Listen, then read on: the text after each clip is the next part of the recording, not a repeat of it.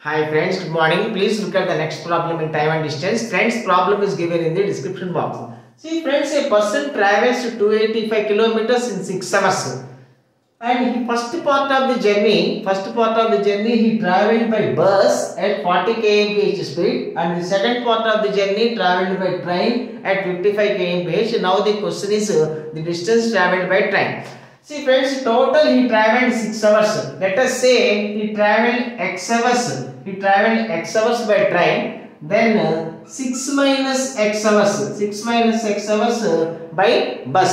Now the distance travelled by bus plus the distance travelled by train is equal to total distance 285 kilometers. Friends, distance travelled by bus, velocity into time, 40 into 60 minus x.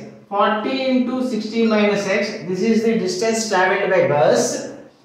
And 55 into x, this is distance travelled by train. Total distance is equal to 285 kilometers, friends. So, 6 minus x 240 minus 40x plus 55x 55x is equal to 285 kilometers friends 55x minus 40x that is 15x 15x is equal to 285 minus 240 45 implies x is equal to 3 x is equal to 3 so he traveled 3 hours by train. So now the distance traveled by train is equal to 55x 55 into 3 165 kilometers is the distance traveled by train friends. Thank you